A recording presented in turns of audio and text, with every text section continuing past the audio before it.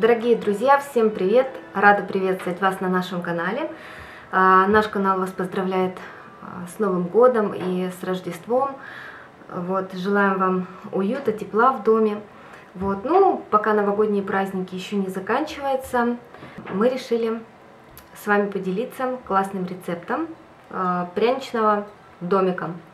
Я на Новый год накануне получила вот такой очень крутой, классный набор вырубок для пряничного домика. Подарила мне его моя любимая свекровь. Спасибо ей большое.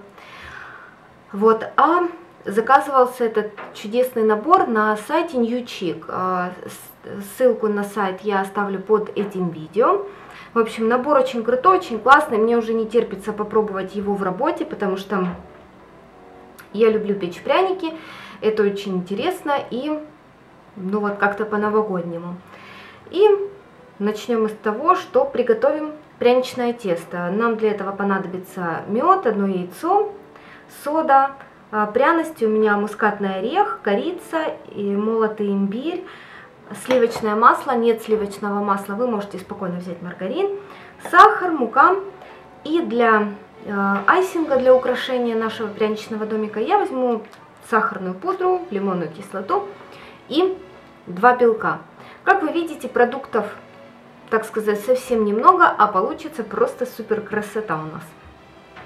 Также вы можете на украшение домика взять всякие, знаете, там красивые присыпочки, елочки, снежинки. Я думаю, это только, только украсит ваш домик, но явно не испортит. Также вы с этого теста можете просто наделать пряников, или если у вас останется тесто, можете напечь пряники.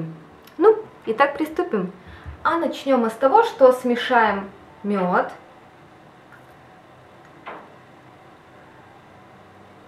Если у вас мед очень густой, ничего страшного в этом нет, он все равно потом растает. Мед, 100 грамм сахара, вот, и специи, так, аккуратненько их. Соду пока не добавляйте, я пока соду оставлю. Вот так. И сейчас я хорошо перемешаю.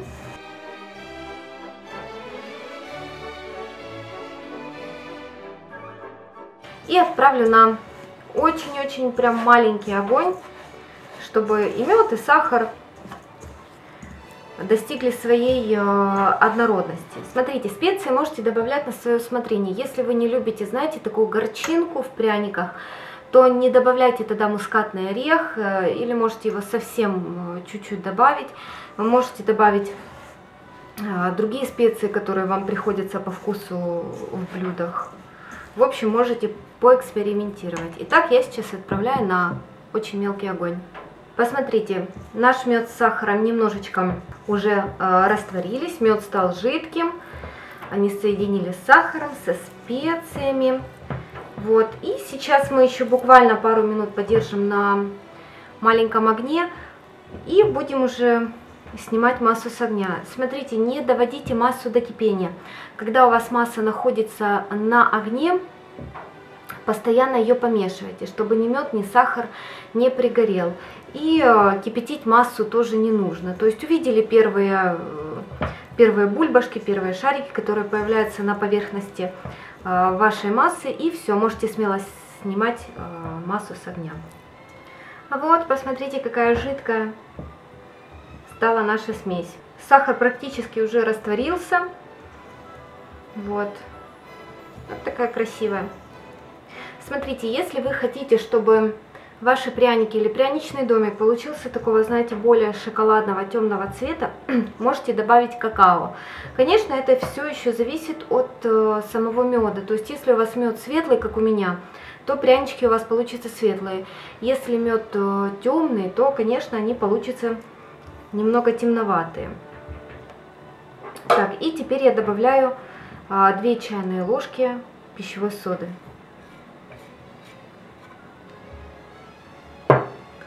И перемешиваем.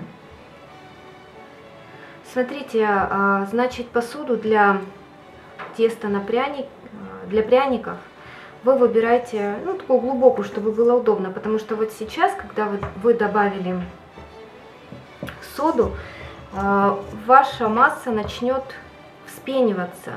Ну и, естественно, в раза два она увеличится в размерах, чтобы не получилось так, что ваша масса начнет вылазить у вас из миски. Смотрите, как красиво получается.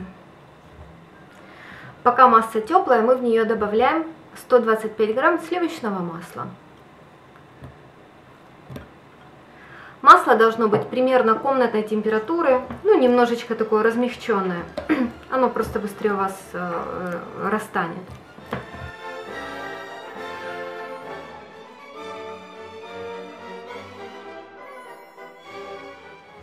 Вот такая однородная масса у нас получилась. Как вы можете видеть, масло полностью растаяло. Вот. И я теперь оставлю массу нашу, наше будущее тесто минут на 5, на 7, может быть на 10, э, чтобы она остыла до комнатной температуры. Ну, то есть, чтобы температура ее была примерно не выше 35 градусов. Вот, потому что а, нам нужно вбивать яйцо, и чтобы яйцо у нас не свернулось. Поэтому оставляем остывать на несколько минут. Наша масса полностью остыла. Она еле-еле тепленькая такая. И сейчас я вобью одно яйцо. И хорошо, пожалуйста, размешайте, чтобы все стало однородным. И теперь мы будем добавлять муку. Муку я буду добавлять постепенно, естественно, перед тем, как э, работать с мукой, просейте ее, чтобы не было у вас никаких комочков. Для начала я добавлю 5 столовых ложек просеянной муки и начну ее вмешивать.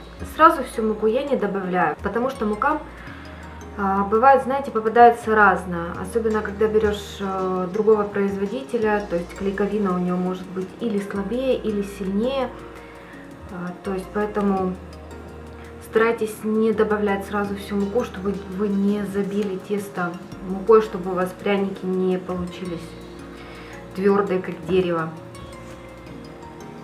Поэтому все с вами делаем постепенно.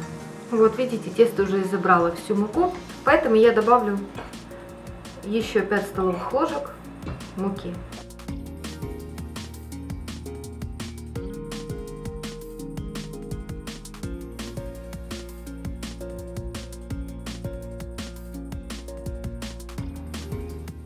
Я добавила еще 3 столовых ложки муки и буду уже вымешивать руками, потому что тесто уже становится довольно плотным.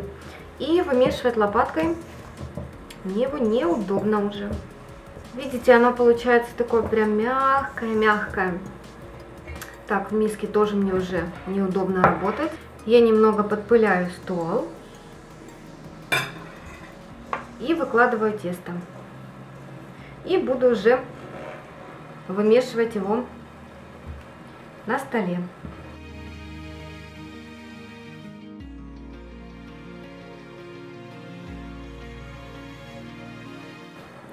Мое тесто еще довольно мягкое, поэтому я, пожалуй, еще немножечко добавлю муки.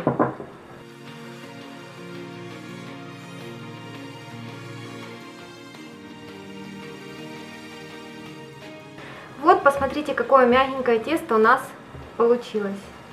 Вот, оно еще может у вас немножко липнуть к столу, но муки я больше добавлять не буду. Всего у меня пошло примерно, наверное, грамм 430 муки. Но у меня вот в мисочке осталось совсем, совсем немножко.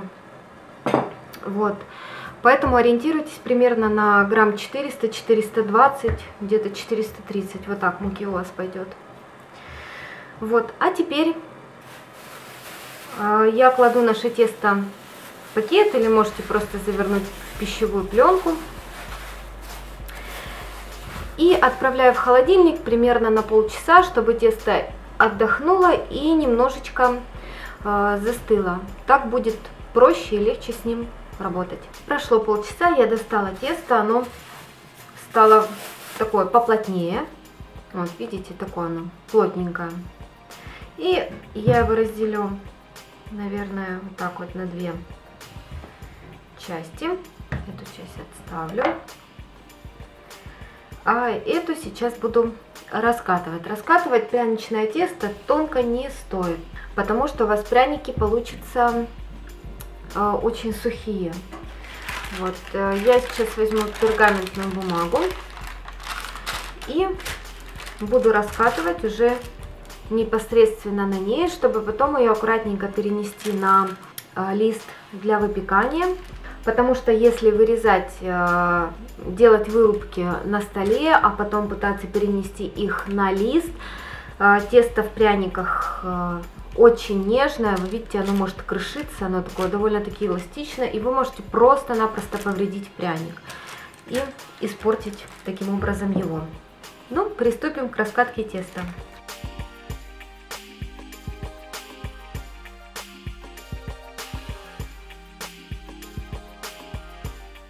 Вот раскатали мы тесто, толщина теста должна быть э, примерно от 5 до 8 миллиметров, тоньше не делайте. И беру свои прекрасные вырубки и начинаем делать красивые формы.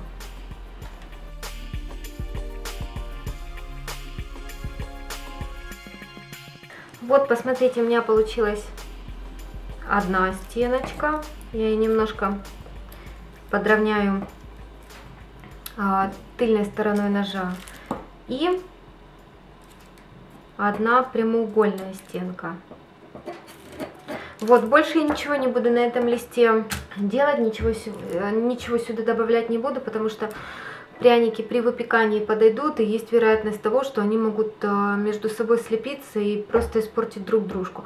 Поэтому будем выпекать вот так постепенно, э, по, стеночке отдельно. Мелкие детали, вот, которые здесь э, представлены на коробочке, видите, всякие кружочки, звездочки, я буду выпекать на отдельном листе, что, потому что большие мелкие пряники выпекаются разное количество времени. За то время, пока у вас э, большой пряник сготовится, маленький может уже сгореть. Поэтому не допускайте таких ошибок. Ну все, а я отправляю стены нашего будущего домика в духовку примерно на 7-8 минут при температуре 180 градусов. Прошло 8 минут. Посмотрите, какие красавчики у нас получились. Вот так переверну, чтобы вам лучше было видно. Мягенькие, смотрите. Вот, но еще довольно-таки горячие. Сейчас их переложу на отдельную досточку остывать и буду дальше а, выпекать детали для нашего домика. Ну, естественно, и показывать это все вам.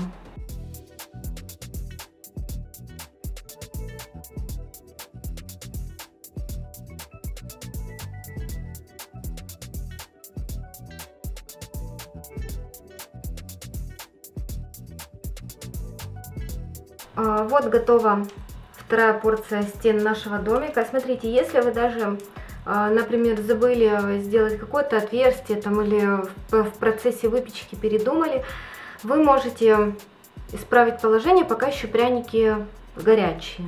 Вот, я доделаю, например, своим пряником окошки.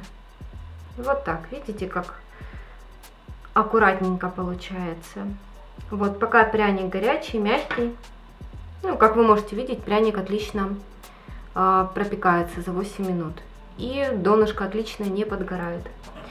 Вот. И возле входа мы тоже сделаем здесь пару, парочку окошек. Вот. И продолжаем дальше выпекать наши детали от домика. Друзья, вот и готовы наши детали к домику. Сейчас я вам все покажу. Смотрите, это вот крыша наша.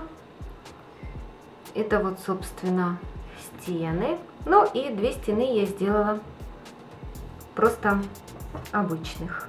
А теперь, пока наши пряники полностью остывают, я приступаю при, к приготовлению айсинга. Для этого мне нужно два желтка, ой, два белка, прошу прощения, сахарная пудра и буквально немножко лимонной кислоты.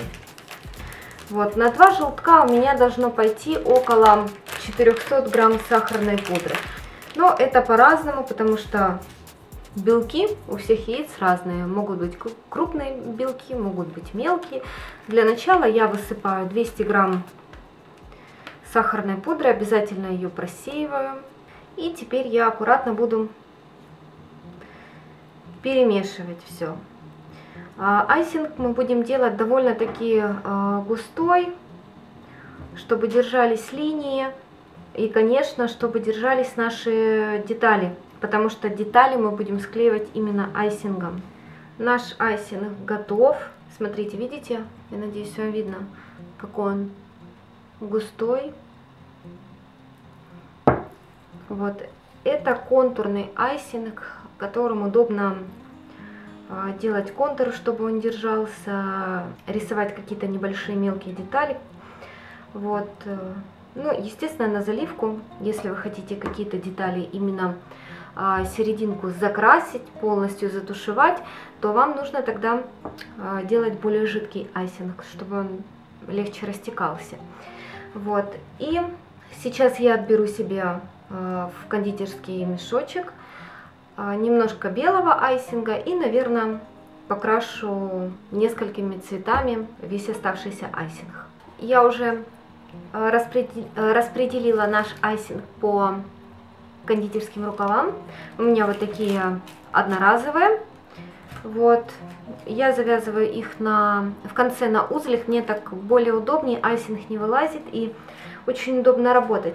А, я еще окрасила себе зеленый Э, голубой и желтые цвета, чтобы наш домик был э, поярче, по-новогодней, повеселее. И да, может быть, я забыла, не сказала вам, э, вы когда будете мешать айсинг, замешивать, не забудьте, пожалуйста, добавить одну четвертую ложку лимонной кислоты, либо чайную ложку лимонного сока. Вот. Тогда он у вас побелеет и станет таким красивеньким. Перед тем, как разрисовывать наши детали, Э, что хочу вам сказать? Хочу вам сказать о том, что нужно немножечко выровнять вот эти края, потому что, видите, как, если их э, крепить, вот, склеивать, не очень, не очень хорошо, не очень ровно это все получается, поэтому я сейчас выровняю все краешки, чтобы наш пряничный домик был ровным и красивым. Вот, видите, какие ровненькие краешки у нас выходят. Уже стеночки намного лучше прилегают э, друг к другу и намного лучше домик будет держаться и выглядеть. Так же самое я сейчас сделаю с, э, со второй стеной и, и все. И будем начинать собирать наш домик. Вот теперь, когда бочка все выровнены, мы можем приступать к украшению нашего домика. Сначала мы его украсим, а потом уже будем э, склеивать.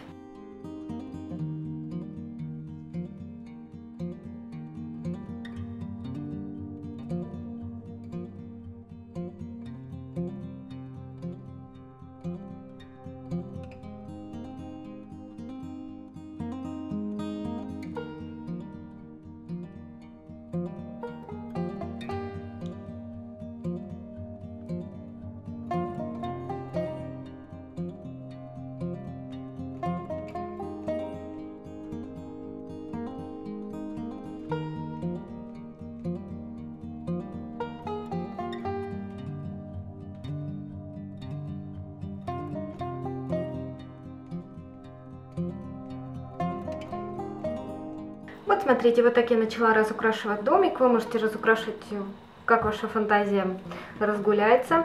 И вот смотрите, я взяла вот такую маленькую звездочку, и мне ее нужно прикрепить вот так вот, вот сюда. Что я для этого буду делать? Я наношу на звездочку айсинг и прикрепляю ее. Вот так вот. Звездочка у нас прикреплена. Ну и дальше продолжаем украшать наш домик.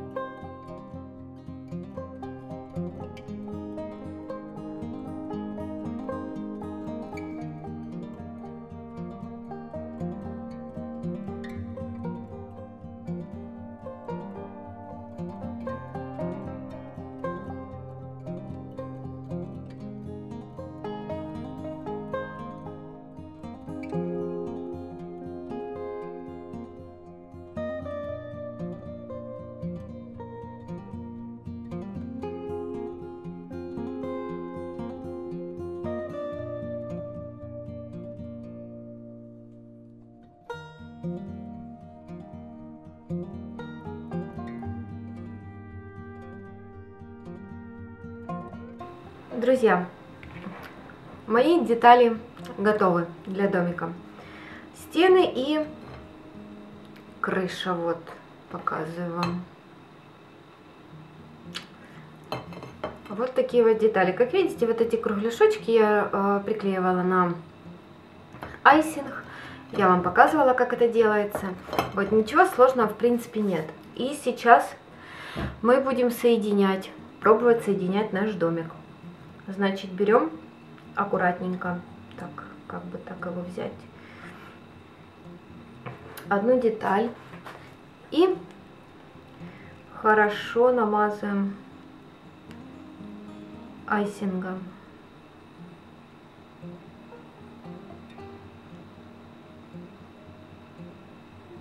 Я сейчас это аккуратненько поставлю. Наверное, сделаю какую-то опору для домика, чтобы он не падал и высыхал. Да, еще внутри хорошо пройдитесь э, айсингом чтобы хорошо, надежно закрепить ваши стены. Сейчас приклеим вторую стену.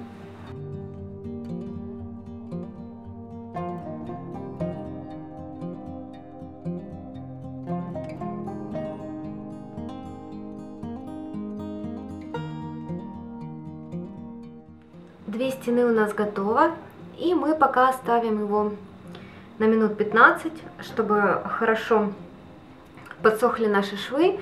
И будем прикреплять четвертую стену заключительную.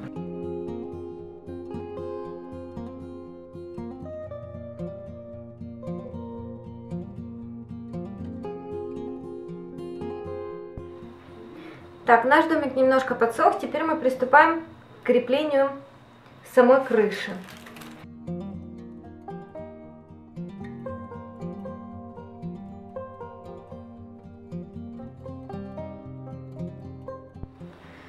Так, смотрите, крыша моя готова. Я еще прикрепила такой небольшой дымарь. Не знаю, видно вам. Вот так вот получился. Я потом пофотографирую и в конце видео выставлю, как он вышел со всех сторон. И сейчас я его украшу немножко сверху, чтобы не было видно вот этих стыков. Ну и, конечно, придадим ему вот такого новогоднего а, вида с сосульками, со снегом. В общем, приступлю я.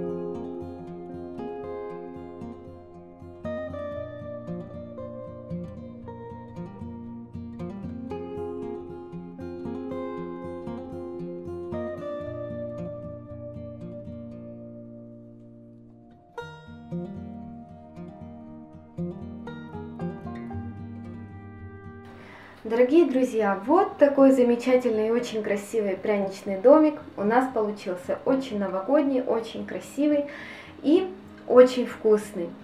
Как вы видели, его не очень сложно готовить. Я думаю, у вас все обязательно получится. Оставайтесь с нами на нашем канале, подписывайтесь. Мы скоро порадуем вас новыми классными видео. Всем пока! Thank you.